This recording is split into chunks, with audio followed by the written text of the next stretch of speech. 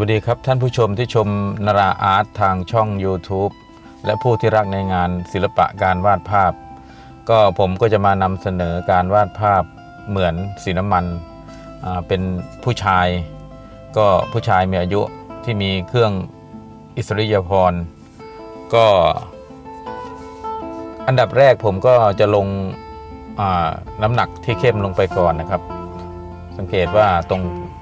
ช่วงใต้คางก็จะเป็นน้ำหนักที่เข้ม ผมก็จะไล่น้ำหนักขึ้นไป จะวางสีน้ำหนักแสงเงาให้เรียบร้อย ก็คือช่วงเงาผมก็จะใช้สีที่เป็นสีแดง ก็ใช้สีขาวผสมสีดำให้เป็นสีเทาครับแล้วก็ผสมลงไปกับสีแดง ก็จะมีสีม่วงไวโอเลตแล้วก็จะมีสีเหลืองทองคือเยลโล่โอ๊กครับผสมเข้าไปด้วย ก็จะมีสีเหลืองสีเหลืองเป็นสีเหลืองเลมอนผสมเข้าไปเนี่ยครับก็จะวางน้ำหนักแสงเงา ช่วงกระโหลกช่วงกระโหลกศีรษะเราต้องต้องวาดให้ดีนะครับ ไล่น้ำหนักให้ดี เพราะว่าคนเนี่ยภาพคนนี่มันก็มีความกลม ก็คือมีมีมีระยะของของความความลึกความหนาครับ ก็คือ เรื่องกล้ามเนื้อ หรือว่าแสงเงา ก็ก็ต้องลงให้ให้ให้ครบถ้วนนะครับ เพราะว่าภาพคนนี้เราต้องศึกษาให้ดีพวกโครงสร้างของของคนนะครับท่านผู้ชมบางคนก็อาจจะได้ศึกษามาบ้าง แต่ว่าบางคนก็ที่เข้ามาชมก็ยังไม่ได้ศึกษาพวกโครงสร้าง แต่ว่าชอบดูชอบบางทีก็อาจจะดูเพลินๆไป แต่ว่าคลิปที่ผมทำนี่ก็ก็ทำสองแบบแหละครับ ก็คือสำหรับท่านผู้ชมที่ดูแล้วเพลิดเพลิน แล้วก็ท่านผู้ชมที่มีพื้นฐานการวาดภาพมาแล้ว หรือว่ารู้รู้พวกโครงสร้างของใบหน้าของคนก็ได้ศึกษามามั่งแล้ว ก็ถ้าคนได้ศึกษาโครงสร้างมามั่งแล้วก็ชมการลงสีระบายสีมันก็จะเข้าใจง่ายขึ้นนะครับ ราะว่าคนที่เคยเขียนภาพเขาดำเคยสเก็ต เคยดออิ่งมาก็จะเข้าใจ สังเกตผมผมผมของผู้ชายคนนี้ ผมก็จะลงสีเป็นสีดำแล้วก็ผสมพวกสีเป็นสีอุลตรามารีนออกออกน้ำเงินนิดๆนะครับผสมเข้าไป อันดับนี้ก็คือการเขียน background ช่วง background ที่จะเชื่อมกับผมเนี่ยต้องเขียนให้ดีนะครับ background ที่จะเชื่อมกับผมก็คือ ข้อ เออรอยต่อของผมกับ background ที่จะเข้าหากันเนี่ย บางทีเราก็ต้องแบบใช้สีที่มันแบบเชื่อมเชื่อมกันได้ดีครับ ถ้าเราเชื่อมไม่ดีก็เหมือนเหมือนเหมือนภาพมันก็จะเหมือนกระดาษนะครับที่ตัดแยกออกจากกันนะแต่ถ้าเป็นภาพเขียนแล้วการเชื่อมต่อก็ต้องเชื่อมไม่ดีก็คือใช้ ผมจะใช้พวกสีอ่าสีเขียวเชื่อมระหว่างสีฟ้าอ่าระหว่างแบ็กกราวด์กับกับผมอะครับ ขั้นตอนนี้ก็คือ ผมก็จะลงเสื้อเสื้อนี่เป็นสีขาวนะครับ สีขาวแต่เวลาเราเขียนเนี่ย รูปวาดก็ต้องมีพวกสีเป็นสีสีสีเทา สีฟ้าอะไรอย่างเงี้ยเป็นน้ำหนักไป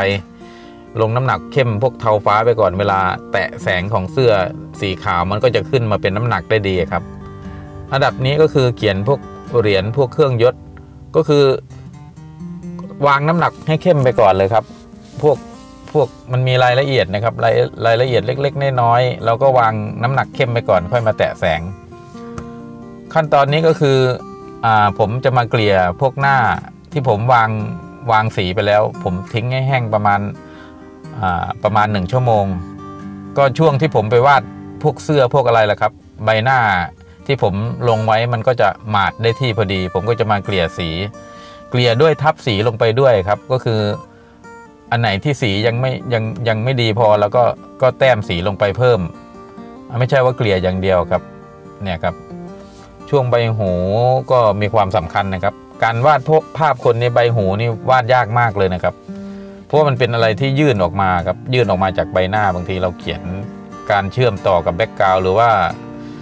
าจะเขียนให้มันดูแล้วไม่แข็งก็เขียนทำทำ ยากมากครับใบหู ก็อันดับนี้ผมก็จะเกลี่ยเกลี่ยให้มีความาสีมันเข้ากันครับ ช่วงคอเสื้อ ครับสังเกตแบ็กกราวผมจะใช้โทนสีที่มีความเข้มนะครับ มีความเข้มเพื่อว่าจะผลักให้รูปนี้มีความโดดเด่นออกมา เพราะว่าเสื้อสีขาว สีขาว แต่ว่าเสื้อนี้ผมก็จะ ใส่มันจะออกมีผสมม่วงนิดๆนะครับ ก็ขั้นตอนนี้ก็จะมา อันนี้คือวันที่วันที่สองนะครับ ที่ผมทิ้งรูปไว้อ่ารองพื้นแล้วปล่อยให้แห้งนะครับ วันหลังผมก็มาเก็บรายละเอียดครับ เพราะว่าถ้าปล่อยให้แห้งแล้วมาทับชั้นที่2มันก็เป็นอ่ามันก็จะเป็น layer ชั้นที่มีความหนาขึ้นมาอีก step หนึ่งครับ ก็คือการเก็บรายละเอียดก็จะเก็บได้ดีครับ ก็ขั้นตอนนี้ก็จะมาเก็บพวกรายละเอียดตรงปาก รูปนี้ลูกค้าอยากให้ปากมีมุมปากมียิ้มยิ้มครับ ก็คือให้ยิ้มยิ้มก็คือในรูปภาพก็คือปากก็จะไม่ยิ้มก็จะดูแบบหน้าหน้าค่อนข้างจะดูแบบไม่ยิ้มครับไม่ยิ้มแย้มครับก็เขาเป็นลูกสาวเขาก็อยากให้คุณพ่อเขาดูแล้วมีความยิ้มแย้มมีความอ่าดูแล้วสดใส พวกสีปากผมก็จะใช้ สีแดงขึ้นมาครับ เพราะว่าให้ดูสดใสขึ้นมา เพราะว่าจะได้ดูแบบดูแบบดูไม่ไม่ดูไม่เข่งขรึมเกินไปครับก็สีปากก็จะใช้แดงเข้มครับ สังเกตว่าช่วงปากบนก็จะเข้มกว่าปากล่างนะครับ ก็ขั้นตอนนี้ก็จะมาเก็บรายละเอียดพวกดวงตาก็คือ ก็คือตาขาวช่วงตาขาวตาดำก็เชื่อมให้ดีครับ ก็คิ้ว บางทีโดนแสงคิ้วบางทีเราจะไปเขียนให้มันเป็นเส้นไม่ได้นะครับ เพราะว่าบางทีมันโดนแสงโดนอะไรก็มีแสงมีเงา ช่วงนี้ก็จะมาเก็บรายละเอียดของของพวกเครื่องราดนะครับ ก็เก็บรายละเอียด มันมีรายละเอียดอยู่ข้างในครับ ก็จะมียุกยิกไปหมดเลยครับ ก็ภาพคนนี่ที่จะช้าก็ช้าตรงนี้แหละครับ ช้าตรงเหรียญนี่แหละครับ หน้าก็จะไม่ได้ช้าเท่าไหร่แต่เวลาเขียนงานที่มีพวกเหรียญพวกอะไรผมก็จะบวก 50เปอร์เซ็นต์เลยนะครับ จากราคารูปเพราะมันมันมันมาทำให้ภาพมันช้าขึ้นนะครับ ขั้นตอนนี้ก็จะมาแตะแสงที่ดวงตาแสง reflect ครับคือแสงสะท้อนกับ ผมก็จะใช้สีฟ้าที่เป็นฟ้าผสมขาว ฟ้าที่เป็นฟ้า cerulean นะครับ แตะเข้าไปแล้วสีมันจะดูฉ่ำขึ้นมา ตอนนี้ก็จะมาแตะแสงที่ดวงตาให้มีความปิ๊งอะครับ ผมเคยบอกไว้แล้วว่าดวงตาคนเนี่ยถ้าสมมุติว่าถ้าเราเขียนไม่ดีตาดำอยู่ในตำแหน่งที่ไม่ไม่ balance กันอะเวลารูปภาพที่มองตรง ก็คือ